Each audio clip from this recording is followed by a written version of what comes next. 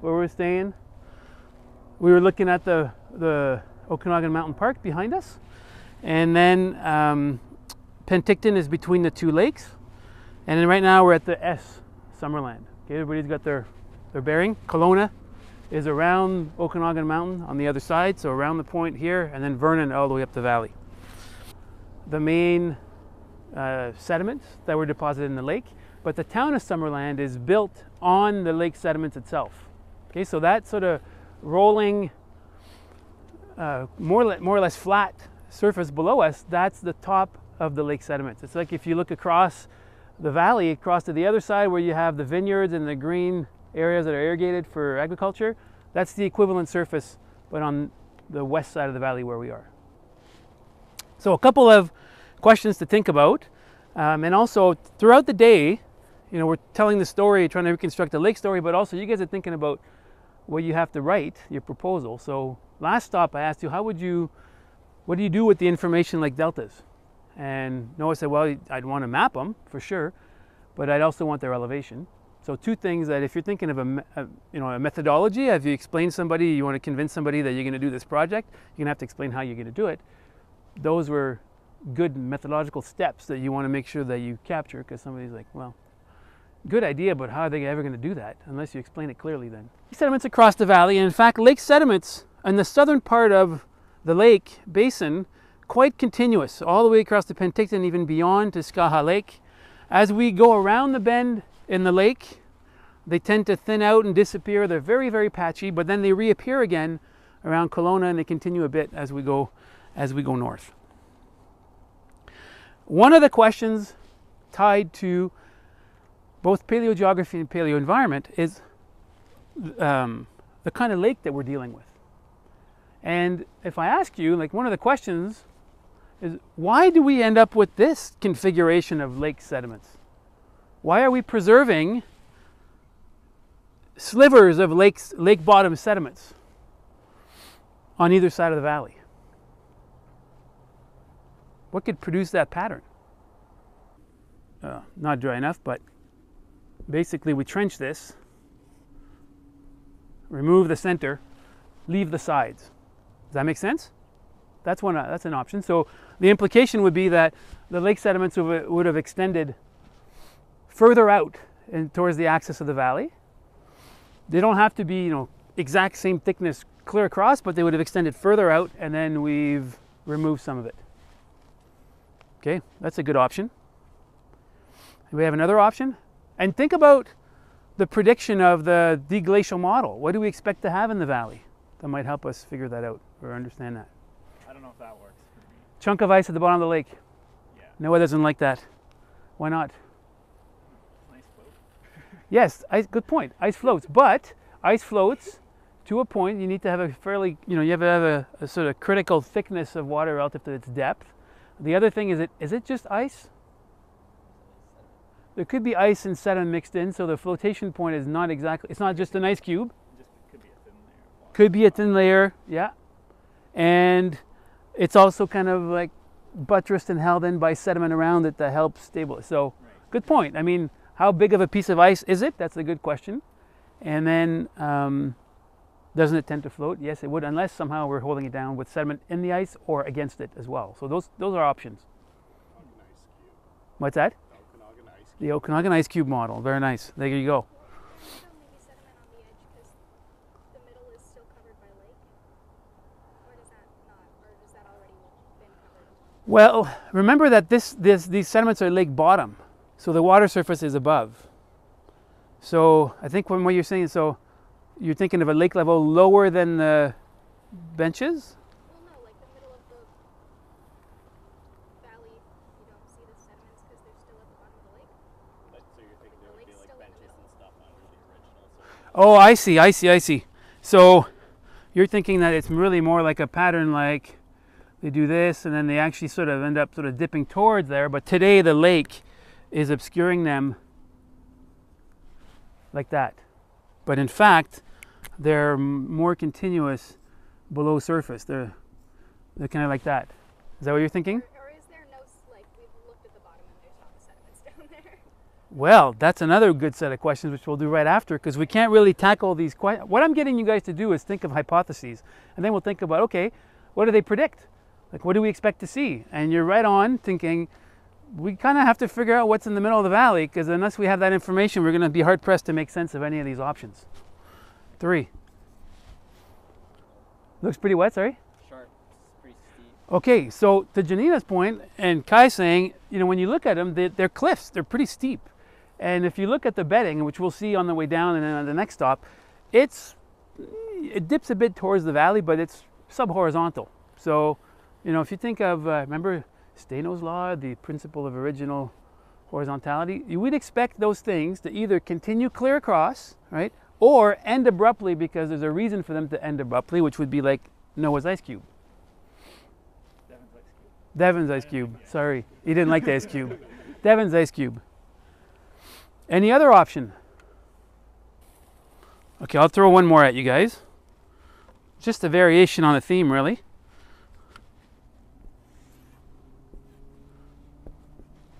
So are we saying these appeared after the lake, or could they become be from like lateral moraines?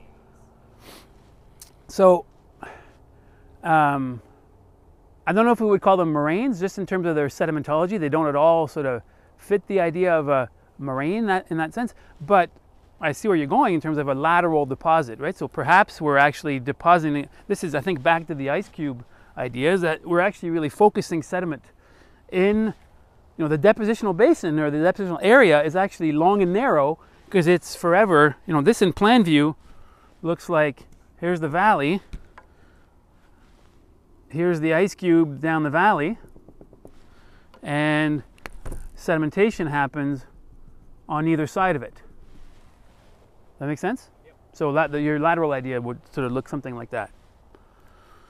One option may be, oh, wrong, wrong cap, is that, um, I'll make this even deeper so we can really see the, the pattern.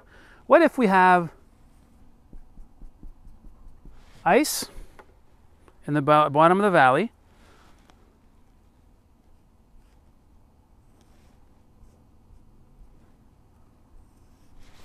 And then we have our lake building on top somewhat, and it can extend out in the valley. And they don't have to be, you know, that thick. I'm just schematically representing them. But there's an extent of the lake sediment and the lake itself over a piece of ice in the bottom of the valley. Because remember that the deglacial model kind of suggests that there should be chunks of ice stuck in the valley. How do we explain with this model the distribution of lake benches now? Because it, when it melts, it collapses. Okay, so the next stage from that is that the prediction would be we melt the block of ice and we end up with a mess of, we end up with these benches like that, but down here in the valley somewhere, a mess of collapsed lake sediments that were formerly on top of ice, and as the ice melts, everything sort of collapses. The hydrological systems drain to this valley and deliver sediment to this valley and has, has been doing this for a very long time. So we might expect to have a valley fill that is in fact very old, but also pretty, pretty messy, pretty complex. We'd expect perhaps erosion, obviously erosion during glaciation or glacial periods, refilling of the valley during glaciation, but also in the interglacials. We might have rivers on the landscape. So we could expect unconformities and multiple packages of and episodes of cutting and refilling and cutting and refilling. Right? You would expect a valley like that to have potentially some pretty big, uh, pretty complex fill. The other thing we have to appreciate is just how deep this is. What's the elevation of Okanagan Lake? 342. So if we go down 600 meters to the bedrock surface, how far are we below sea level? Close to 300, 250, 300. Okay, this is a deep valley. We're, in some parts of the valley, we are at sea level, or uh, in a few places, a few hundred meters below sea level when you hit the bedrock surface. There's more relief. Just think about what that means. If you if you're on the bedrock the bottom of the valley, like at bedrock, on the bottom of the valley, and you go right to the top of Thompson Plateau. We drove off the edge of the plateau and down to the valley yesterday. That's more relief than the Grand Canyon. But you don't see most of it because there's a lake there and there's something above something. There's sediment, there's a valley fill above the bedrock that brings it close to lake elevation. The lake, lake depth, I think the deepest part is about 150 meters. Okay, so that's a lot of numbers. 340 for the elevation of the current lake. Let's just go with simple whole numbers. 150 as a depth. So we'll- call that about 200 meters above sea level. And then a sediment fill that takes us to the bedrock surface of whatever the balance is of plus 200 down to minus 300. So in some places, four, 500 meters thick of sediment filling the valley. There's a lot, there's 87 cubic kilometers of sediment in the valley, in the fill. We're not even talking about the modern lake system. This is all older fill. And then your prediction was well, since we have such a big valley here, and it's been around for so long, we should expect to have a pretty complex fill that records, you know, all those various climatic episodes of switching in and out of glaciation and eroding and redepositing and cutting and filling and on and on and on, repeating that over millions of years. If we look at the characteristics of the fill, how would we describe it?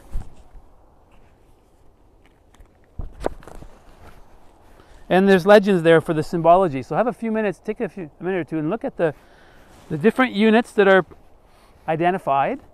And this is identified you know, from seismic but also drilling. So there is some corroboration of the materials on the geophysics.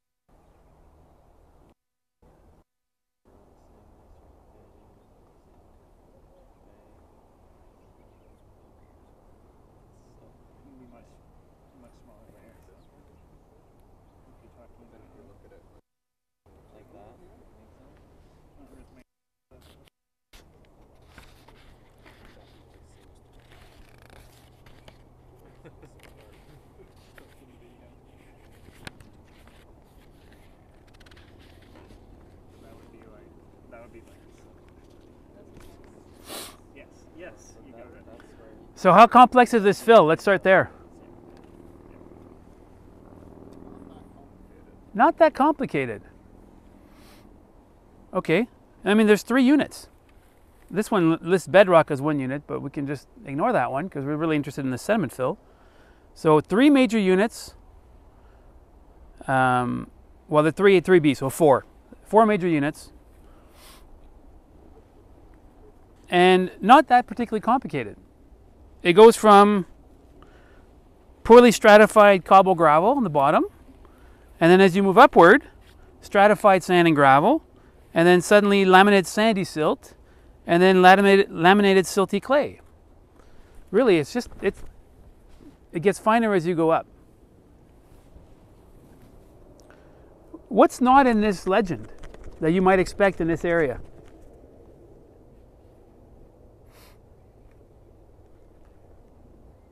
If you know, like you're thinking about the history of this region, the recent history of this region, and how you might have glaciers in the landscape, what is not in this valley fill that we might expect?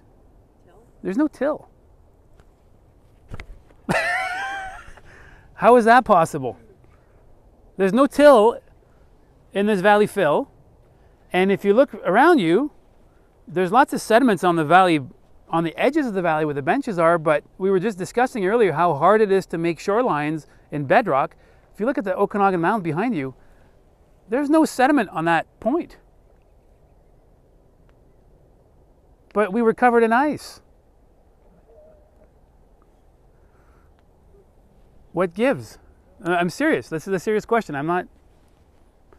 That's kind of odd. So, one option is maybe we're one of these units is completely misinterpreted as till, but we just missed it. But there's some drilling that supports this, and usually, if you encounter till, you know it when you're drilling through it because it's very compact and it has a you know it's got a characteristic, a, a grain size characteristic that's pretty unmistakable. So how is that? How do we explain that?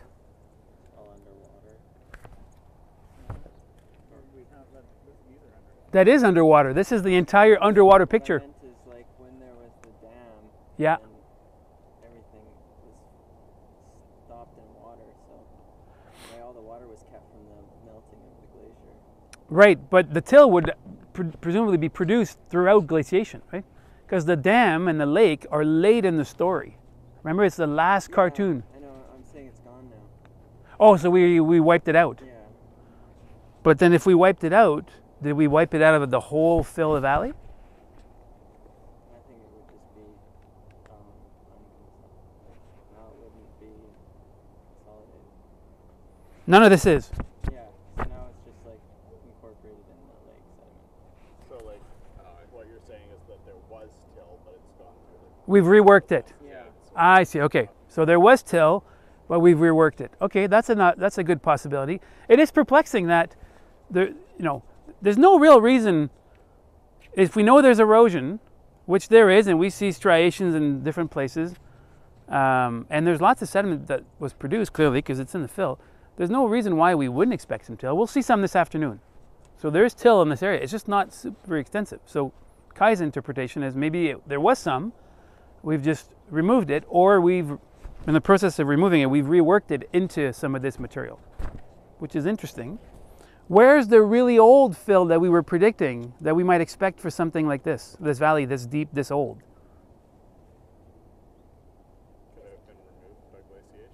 Okay, so one option is we ream it out. We ream it out, we clean it out during glaciation, and then we replace it with a fill that's um, much younger. Like that's, if that's the case, that's an enormous amount of erosion and refilling. Because remember, we have to. Re, this is not just over in Vernon. This is over the entire length of the valley, right through here.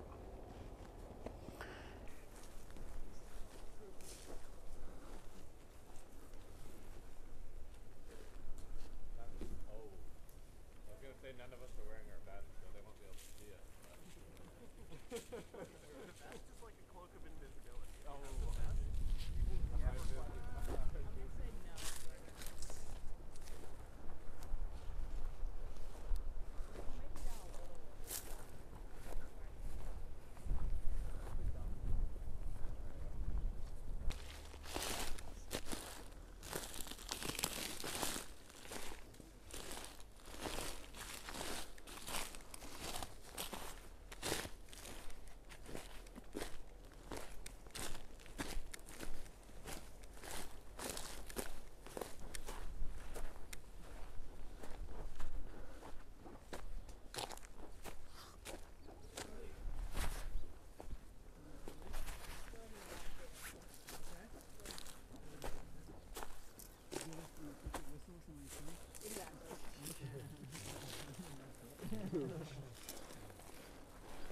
Okay, can you turn your blue light on, young man? Thank you. All right, so this uh, is known as. So why we're here is because it's a really good place to start on the topic that we're going to get into more during the term, but on quaternary stratigraphy. And this is what we call a type section or a stratotype, meaning that when we try to kind of unravel environmental changes that have happened over a region, we establish reference locations where we think there's a pretty good and continuous record of environmental change over a certain amount of time. Okay, and so this is one of those reference sections or stratotype.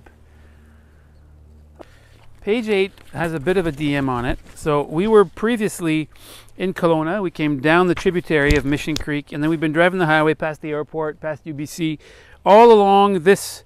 So it's a parallel valley. It's a bit smaller than, and there's no lake in it, so we drive around there, and then we cross over this ridge, and then we end up at this area called Okanagan Center. This is called the Okanagan Center stratotype. And it's on a bench, so there's a bit of an oblique Google Earth image, so you can see, and there's a huge gully. That's what we're looking at there. This is this big gully is what's exposed the sediment bench in there. So what we're going to do is, because uh, we have not talked about quaternary stratigraphy at all, and the, words, some of you will know the words, but the nomenclature varies regionally. And as if there's not enough terminology in stratigraphy, the names you use change. You refer to the same time period, the same units, but they have different names in different regions. So, for example, um, for the Fraser glaciation, which is the last glaciation we had in this area, the package of sediment associated with glaciation we will call the Vashon Drift on Vancouver Island and on the coast, but we will call it the Kamloops Lake Drift in the interior. Same representative of the same environmental conditions, glaciation, at the same time, we just regionally give them different names. Okay, so there's going to be a lot of names. We're going to try not to get bogged down on the names. Indirectly, we might, but we don't directly date radiocarbon date the ash. Is it argon argon or potassium argon? So that's one way of dating it um, directly with some of those geochemical methods. But the other way, what we first need to do with ash is you sample it and you analyze it, and you kind of come up with a, a chemical makeup, proportions of silicon, oxygen, magnesium, iron, you know, the whole range of common elements you might find in volcanic material. And that chemical makeup is like its fingerprint. And if you have a big list or a big database of multiple fingerprints of different ashes, you can then, first thing you can do is you can recognize it and say, ah, this one comes from this eruption of this volcano. The second thing you're able to do is if enough people have collected ashes, analyzed their chemical makeup, and then dated the material usually above and below the ash that they can identify, either through radiocarbon dating or through some other method, we can start assigning an absolute age to that ash layer. Okay? So, this particular ash is an ash that comes from Mount St. Helens. It's so volcanoes in this region, because there are so many and they've been erupting for so long. So um, they, we, we, we call them sets. There's an ash set. There's a series of these different uh, layers produced by different eruptions. So Mount St. Helens, and the set from this particular eruption is called a set C, like the letter C. Okay. The age of Mount St. Helens set C is 35 to 50,000 years before present. It's a huge range. Part of the reason why it's a huge range is A, we're pushing the limits of radiocarbon dating. There are limits to how, how far you can take radiocarbon dating 35 to 40,000, maybe 50, depending on the quality of the samples. So we're really like stretching the method in terms of how much we can resolve from deposits. So this date comes mostly from a group of people in Oregon, I think, that have cored a lake in the Cascades. And in the core, they've extracted a, a, series, they find three or four different ashes from different volcanoes. They sample each one, they send to the lab, they do the chemical fingerprint, they go to the database, they say, oh yeah, this one is Mount Mazama, this one is, uh, I don't know, uh, Rainier or something, and this one is St. Helens, and it's set C based on the chemical makeup. In their core, they've got organic material. They date what's immediately above the ash in the core, immediately below, that brackets the age of the ash. Does that make sense? So we're not dating the ash per se, radiometrically, but we're dating sediment or material, organic material above and below it. So 35 to 50,000 for Mount St. Helens.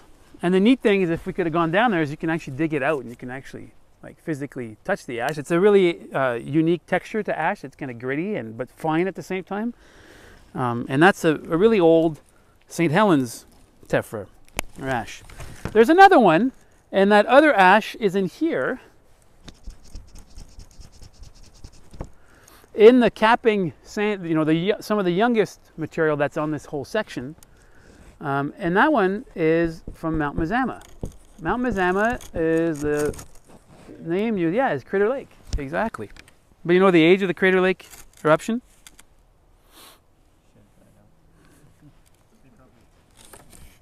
Yeah. On Tuesday? Yeah, that's what we're working on. 8.2, roughly. 8,000 years ago, give or take. It changes. The age gets refined because that's a fairly common one that we found in, in Washington and in the Cascades and Northwest and in BC as well. So we got absolute ages on the upper unit and on one of these this unit and you know we have a paleosol we infer it to be from an interglacial period and 35,000 to 50,000 actually works with that interval. We're in the interglacial at that time. So um, there are other methods you can use to try to date materials beyond radiocarbon and using ash that you associate with known eruptions where you know the age. And this, there's a whole method called optical dating or optically stimulated luminescence, dating. And we use some of this, these methods to date some of these different units. So that method, you know, if I try to summarize it briefly, the method is works this way. You sample sand grains, and the idea with these sampled sand grains is that when sand grains are exposed to sunlight, the sunlight, the photons basically excite the crystal and they release from the crystal structure what we call alpha and know, gamma and beta particles that the sediment acquire through just the, the ongoing radioactive decay of material. So you need to think of sunlight or exposure to light as a way of zeroing the amount of particles that are in the grain. If you take that grain again and you bury it where it's shielded from radiation, like solar radiation and sunlight, it acquires, it builds up, think of it as like a little reservoir of these particles that come from the ambient decay of material. So if I buried this, you know, sand grains, that's part of a package of sand in this section, and they don't see sunlight for a long time, they're acquiring these particles just being stationary in the deposit. Okay? And what we do with luminescence dating is we come and sample that buried material. You do it carefully, and it usually involves like a piece of aluminum, like irrigation pipe. It's about a foot or two feet in length. And you insert it into a, a face, and then you excavate it. So what you want to do is capture or trap in the pipe, not the sediment that was right on the out on the face of the outcrop or the exposure, because that's exposed to light. What we want is sediment some distance in the face where it doesn't hasn't seen light since it's been buried. And we're going to cap the, the tube, and you take that sealed tube so that the center section basically hasn't seen light. Even though you sampled it, there's no light that's affected it. Take that to the lab, and in a special room where there's no, oh, you control the, the, the light that's in there, you take that sand out of the tube, and you are going to uh, artificially excite the sand grains to release whatever they've accu- accumulated when they were buried. But you're going to measure it when you do it. You're going to measure what they release. And if you can have an idea of the ambient radiation in this area and you know how much has been accumulated, you can work back from the rate of ambient radiation, you can work back a time since that sand grain last saw sunlight. So you're basically more or less indirectly uh, measuring time of burial and the last time it was exposed to sunlight. Does that make sense, that sequence? Yeah, yeah, it's a very cool thing. It's super interesting. You can do this with quartz grains, you can do it with feldspar grains mostly. They actually behave differently, they acquire material differently, so you kind of get different uh, values or different ages from different grains, and the specialists that do that know how to sort of interpret those slight variations. Um, but you can see there in the table that those are the samples that have been collected. Uh, you can see some of them are quartz, some of them are feldspar. There's an amount on the dose rate. The dose rate is the ambient radiation. And based on that dose rate and the quantity that's released, you come up with an optical age. Okay, so what you see from different samples in different places is that some of the oldest material where we took the samples, OCS2, 113,000 years old.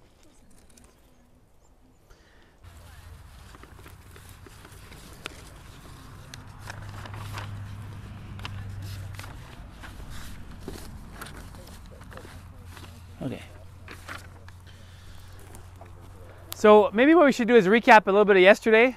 Maybe that's just to put the picture back together because we, we made a lot of stops yesterday late into the day and we, we talked a lot about a different different aspects of what's in the valley in different locations. So sometimes connecting them is gets tricky. Um, we can't, we started the day thinking about what kind of lake Lake Penticton was in terms of its you know paleo environment and its paleogeography. That was our, our big goal because your project is tied to that. What do I mean, okay, so when we talk about what type of lake, you know, we talked about proglacial lakes, superglacial lakes, we talked about ice marginal lakes, we thought, talked about just a regular lake with no ice in the valley and that kind of thing. That's what I was referring to. What do we think of the the option of having the lake? So everything was kind of that whole discussion was triggered by the current distribution of lake bottom benches or sediments, right? So these slivers along the valley, and we, I don't know if you've been looking, but those lake benches continue all the way to Penticton and south of Penticton along Skaha Lake. That configuration is the same, continues all the way uh, just about to Okanagan, Okanagan Falls. How did we feel about the idea that these are uh, these ribbon lakes where there's water really in a long, narrow sliver on either side of a big piece of ice in the valley? Does that work? We were talking about the lack of place. Right. So we were trying to reconcile this problem or this observation more than a problem, but what happens to the clays and what is the sort of distal part of these really thick and energetic, you know, turbidites that we were looking at yesterday as we climbed up the bluff. Meters of silt and fine sand deposited repeatedly over and over to create these really thick benches of lake sediments. And we say, well, we'd expect clays in the basin, but where, where does it go? And the easy answer was, well, it went that way. You know, like it went to the axis of the valley somewhere, but then that has implications for what we imagine to be in the axis of the valley in the first place, whether we have a great big chunk of ice and two lakes on either side. So I think we kind of did away with that option just based on the, the prediction of where clays might end up and where we would see them. And if there is in fact ice blocking these basins, the clay should be closer to where these coarse deposit, coarse and thick deposits are. Relatively coarse, right? Coarse for a lake bottom. What does that leave us with? It leaves us with ice in the valley, but not sort of constraining two ice lateral lakes. Raise with me, right? So we could have a, a lake that's effectively supraglacial, so on top of some ice in the valley. And then how would then we then how would we then interpret or explain the distribution of lake sediments? Those slivers. Why do we, they look the way they do today? Right, it would collapse, right? The, the expectation is we would have had lake bottom sediments extending towards the axis of the valley, but a portion of the axis of the valley is occupied by ice, and then when that ice melts, whatever is deposited on top of the ice ends up kind of collapsing, and it produces this appearance today of this these missing, you know, sort of central portion of sediments. And yes, they could have. And when we look at those lake sediment beds that we climbed up yesterday, you would expect them to thin as they go towards the axis of the valley. So they don't have to be clear, the same thickness right clear across the valley. They could just be sort of la- pinching out in thickness, but also dipping towards the center of the, the valley. It doesn't radi- radically change that. If we had that on top of ice and we collapse it, then we wouldn't see them today. The next question we had for ourselves was um, what happens, or how much ice is potentially in the valley on which we deposit this lake. So this superglacial lakes on top of a piece of ice. How thick is this ice? And then we we had some more difficulties, and I didn't actually bring all the seismic lines to hash that out fully. But we said we'd expect deformation in the valley fill if there's a significant thickness as the you know existing the uh, model of deglaciation would would suggest that these valleys like Okanagan, and we know how deep it is, would have been these major trunk valleys with trunk glaciers. You know, big glaciers down the, the axis of the valley. You could be talking about hundreds of meters of ice that fill the valley. We'd expect the valley fill to reflect that the presence of that ice through some collapse, and it's not entirely clear on the seismic data that exists, but uh, it also doesn't jump out at you that everything is collapsed. So maybe a bit of an open question for that. Um, we were also thinking about lake reconstruction, and uh, we we're talking. This is really very much about the geography and also the paleo environment together, where it's constraining where the lake exists, but also in what configuration and what kind of environments. So, in that broad category of environment, we're putting the, the lake type in there.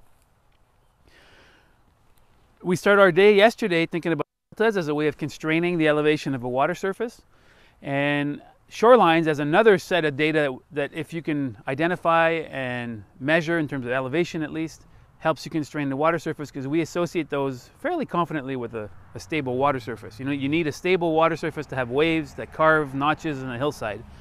But we said we don't see many, probably because the hillsides are made of pretty hard rocks. But we did see some yesterday north of Kelowna. On the hillside, there was a couple of very, very linear and continuous um, sets of, well, shorelines on the on the hillside. So let's just go back to the Lake Thompson story a bit to sort of patch those things together. Because when I when we came here instead of going to that area, we said that's all right because there's a lot of similarities between the two basins. There's a few differences, but there's some similar situ- uh, situations. In the Lake Thompson Basin, we all, and so that includes this valley here, this east-west valley, Kamloops, Ashcroft area. We have very similar uh, configuration of the lake bottom sediments, so kind of a missing strip down the axis of the valley, and then benches on either side. In Kamloops, that's the case. In this valley here, that's the case as well. But in this valley, there's the, the valley's a bit narrower than Okanagan, but also there's a river that actively flows through there today, and so there's clear terracing of some of the lake bottom sediments. In the Thompson, we see that, or we see evidence, much like here, there is in fact some ice present in the valley in the lake sediments because we have kettles. We have areas where we can see depressions, and so you had ice blocks that melted, much like the tributaries around Okanagan Lake, but there's a big difference between isolated ice blocks in a basin and you know an enormous trunk valley that occupies the valley axis and then we have sediment on top. So it's about thinking about you know the significance of the, the, the volume of ice that might realistically be in the valley and differentiating between individual more or less isolated blocks of ice versus you know a valley length tongue of ice that's still stuck in the valley bottom and decaying so in the thompson com- combination of um, combination of shorelines and deltas. There are better shorelines in the Thompson. There's more sediment on the hillsides. Allows you to reconstruct water planes. And in the case of the Thompson, so there's the valley. So this is Ashcroft. This is going to Kamloops. This is down to Spence's Bridge. So it's in that right angle, east-west, going now to the south.